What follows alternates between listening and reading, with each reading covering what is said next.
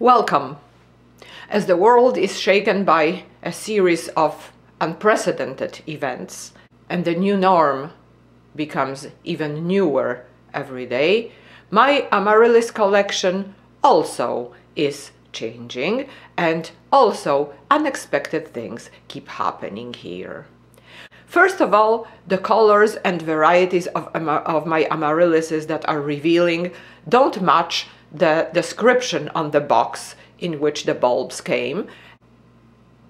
And this is quite, quite thrilling. And I must say that this mystery uh, and this surprise when the flower is opening brings me quite a lot of joy and a lot of pleasure. The other thing is that my amaryllises grew a lot. This is quite predictable. Uh, they all have right now large buds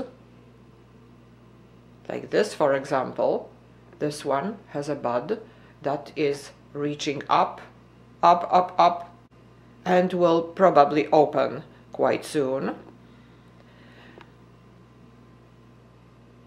This one might not bloom at all. However this one look how beautiful it is. And here is one. This uh, flower bud is quite quite small comparing to the others, but the flower will certainly be beautiful and we'll see what color it will be. And here are two new ones. Uh, about two weeks ago, or even more than that, maybe it was three weeks ago, I gave those bulbs unplanted, unpotted, uh, as a present to my daughter.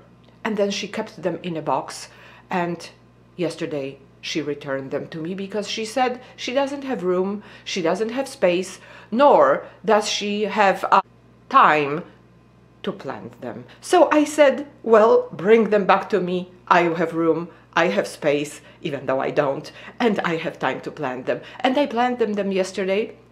They are still quite white because they were in a box, but they have huge uh, uh, flower buds already and we'll see what color they will reveal. And here are my two last year's uh, amaryllises. I'm not sure what will happen to them, whether they will uh, bloom or not, but it's still fun to watch them grow or not grow and see what will happen with them. Um, I have quite a lot of fondness for amaryllises. They are beautiful and it's the first time I have so many of them at the same time. Usually I had one or two.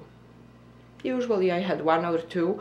Usually uh, I was buying one for Christmas and then it either survived for next winter or not. Then I would buy another one and one bulb would bloom, one wouldn't. And, and uh, this is the first time it happened. I guess many people in this entire lockdown situation uh, went a little bit out of their usual uh, buying habits and collecting habits and plant keeping habits.